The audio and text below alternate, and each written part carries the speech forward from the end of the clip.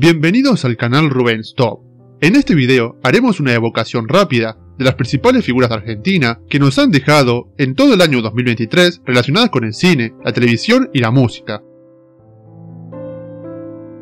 El 25 de enero murió a los 65 años, sin que se hayan dado a conocer las causas, el actor Claudio Dapasano, que participó de la comedia Los secretos de papá, de la serie El Tigre Verón y formó parte de la película nominada a los premios Oscar Argentina 1985. El 2 de febrero murió a los 58 años a causa de neurismas cerebrales la compositora salteña Noemí Cristina Laspiur, más conocida como La Moro.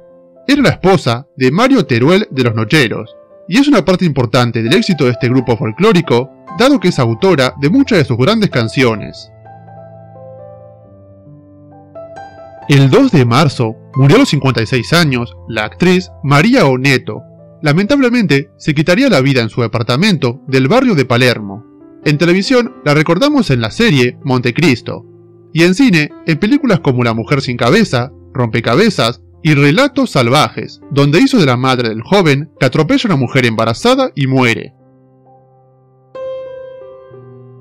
El 25 de marzo murió a los 85 años a causa de una neumonía el actor y humorista Tristán, uno de los últimos viejos capocómicos que quedaban con vida en Argentina.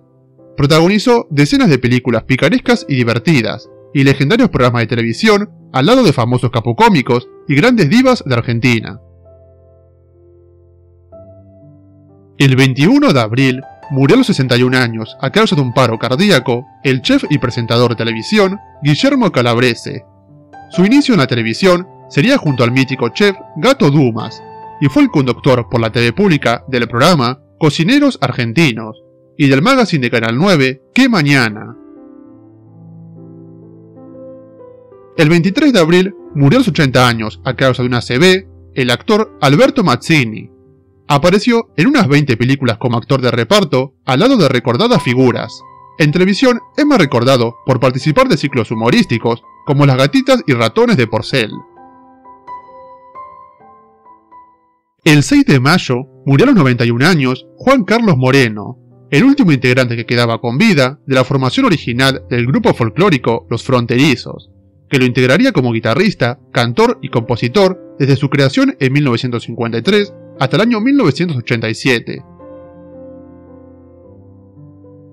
El 11 de mayo murió a los 103 años por causas naturales el actor Guido Gorgati. Uno de sus trabajos más relevantes y recordados fue en el ciclo de humor La Tuerca. También se destacó en la telenovela Resistiré y en el unitario Un cortado, Historias de Café. En cine, aquí lo recordamos en Los chicos crecen y en Mingo y Aníbal contra los fantasmas. El 22 de mayo murió a los 99 años, luego de sufrir una descompensación, el pianista y compositor Jorge Ardú. A fines de los 40, formó su propia orquesta típica con la que actuó durante varias décadas, y acompañó a grandes cantores como Alberto Castillo, Florian Ruiz y Roberto Rufino. El 25 de mayo murió a los 82 años a causa de una neumonía el cantautor folclórico salteño Daniel Toro, fue autor de reconocidas canciones, entre las que se destacan Mi mariposa triste, Para ir a buscarte y su obra máxima, Samba para olvidarte, verdaderos himnos románticos que fueron interpretados por cientos de artistas. El 3 de junio murió a los 78 años, sin que se hayan dado a conocer las causas, el director de cine Mario Sábato, hijo del escritor Ernesto Sábato.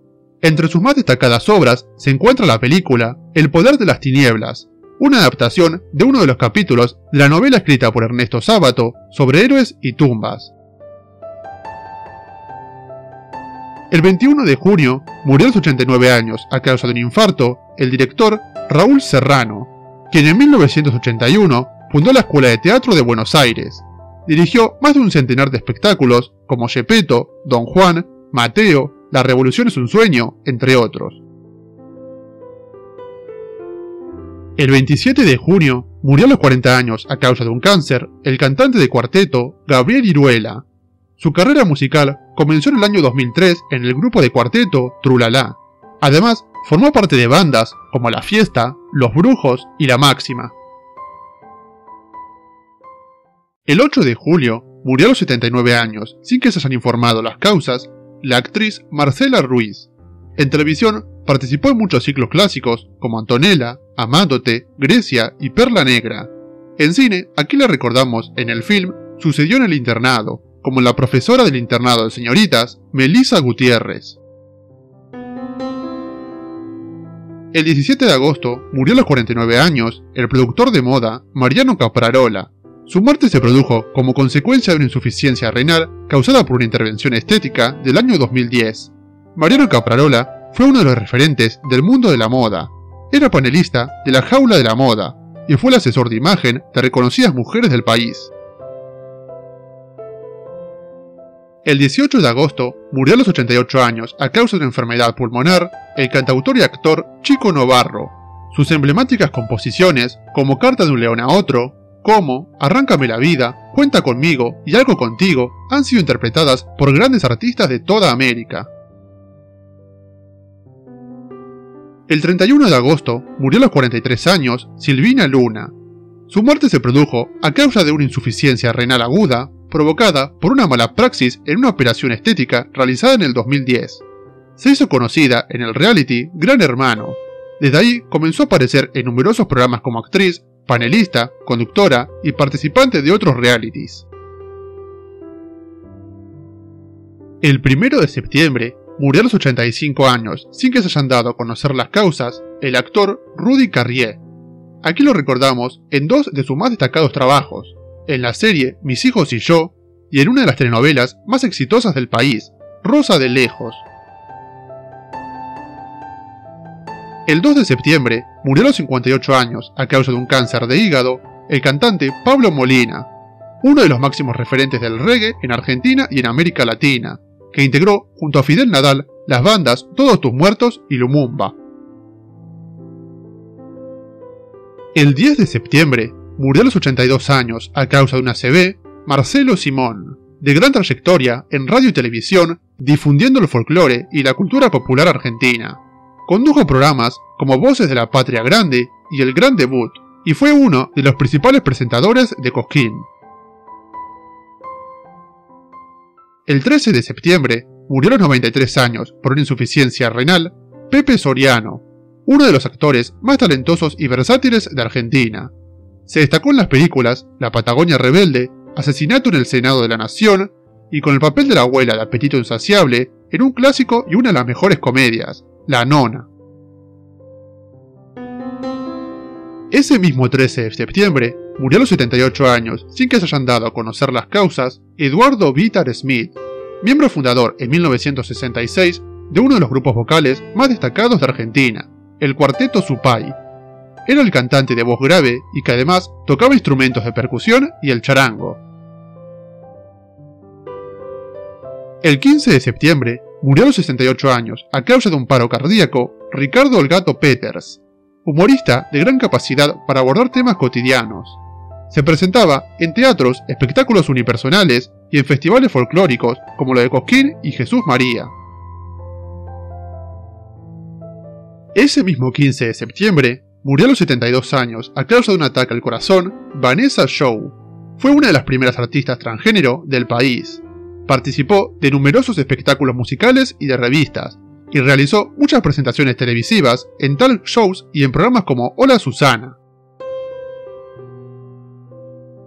El 21 de septiembre murió a los 57 años a causa de un accidente de tránsito el cantante y referente de la cumbia santiagueña, Huguito Flores.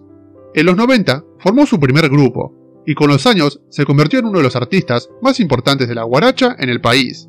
En el 2017 comenzó su carrera como solista, y actualmente estaba pasando su mejor momento. El 9 de octubre murió a los 90 años, tras una larga enfermedad, el director de teatro y ópera Jorge Lavelli, que de muy joven se radicó en París, donde alcanzó una verdadera proyección internacional recorriendo los más importantes festivales de teatro del mundo. El 13 de octubre murió a los 86 años el locutor y conductor Anselmo Marini, una de las icónicas voces de la radiofonía argentina. Estuvo a cargo de las presentaciones y pausas publicitarias de la etapa de Sport 80 en Radio Mitre. Además, fue el creador y conductor del mítico ciclo Desde el Alma.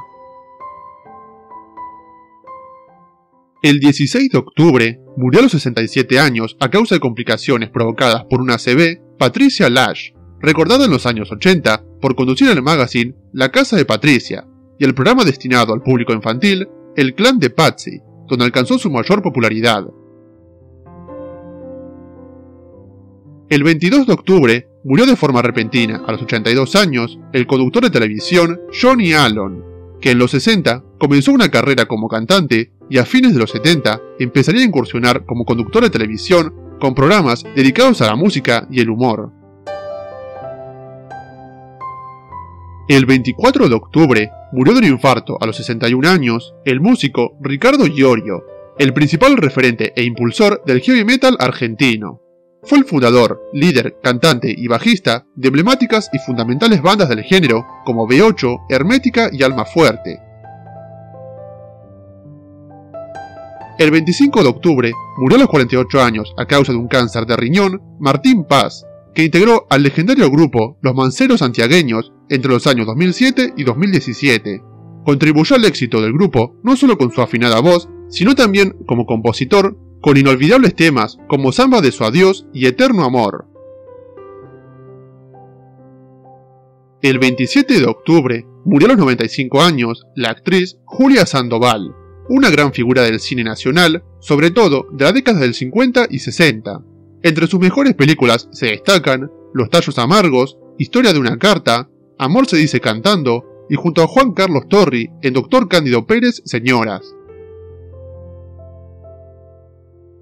El 9 de noviembre murió a los 60 años a causa de un cáncer de páncreas el periodista Eddie Zunino, quien la mayor parte de su carrera la dedicó a la gráfica, pero ganó notoriedad también en televisión con sus participaciones en distintos programas, destacándose por su enfoque en la investigación periodística. El 20 de noviembre murió a los 71 años, tras una larga enfermedad, Marilu Brager, también conocida como Marilu Smith, que alcanzó popularidad en televisión en el exitoso ciclo musical Alta Tensión. Más adelante comenzaría a conducir y participar de distintos programas de televisión. El 21 de noviembre murió a los 94 años el guitarrista entrerriano Horacio Malvicino, considerado pionero del jazz moderno en Argentina. Fue un guitarrista histórico de Astor Piazzolla, dado que desde 1955 fue miembro de sus distintas formaciones. El 24 de noviembre murió a los 66 años, tras una larga enfermedad, la actriz y vedette Doris Perry, que trabajó en películas de la década del 80 como una de las esculturales mujeres que acompañaban a cómicos como Olmedo, Porcel y Tristán en varios de sus films. Ese mismo 24 de noviembre murió a los 74 años a causa de un cáncer el actor Aldo Pastur, que apareció en varias películas, pero principalmente lo vimos en grandes producciones televisivas, como en las telenovelas Amar al Salvaje, No es un juego vivir, Dulce Ana y 90-60-90 Modelos.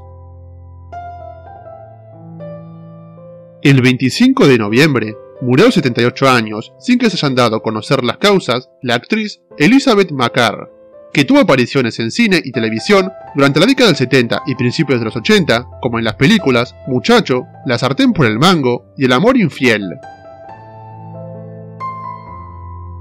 El 26 de noviembre murió a los 64 años, sin que se hayan informado las causas, el marionetista y productor José Luis Telecher, creador de personajes que fueron un éxito en varios ciclos televisivos, como Pepe Pompín y Caroso y Narizota, quienes acompañaron la infancia de miles de chicos. El 29 de noviembre murió a los 95 años la actriz Perla Santalla, quien tuvo una gran trayectoria en teatro desde su debut a fines de los 40 y una extensa carrera en populares ciclos de televisión como El Rafa, El Sodero de mi vida, Costumbres Argentinas y Don Juan y su Bella Dama. Ese mismo 29 de noviembre murió a los 67 años a causa de una CB el representante artístico Ricardo Piñeiro, un histórico representante de modelos que durante 30 años estuvo al frente de su propia agencia. En los 90, con la gran explosión de la moda, se convirtió en el representante de algunas de las mujeres más espectaculares del país. El 7 de diciembre murió a los 96 años a causa de una neumonía el cantautor y poeta Ramón Ayala, el máximo exponente musical y artístico de la provincia de Misiones. Creó un nuevo género musical, el gualambao, y compuso populares canciones como El Jangadero, El Mensú y El Cosechero. El 15 de diciembre murió a los 94 años el violinista Eduardo Balzac, que integró la orquesta de Atilo Stampone, y durante 40 años el célebre Sexteto Mayor, una de las más importantes agrupaciones de tango de la historia, con la que recorrió el mundo.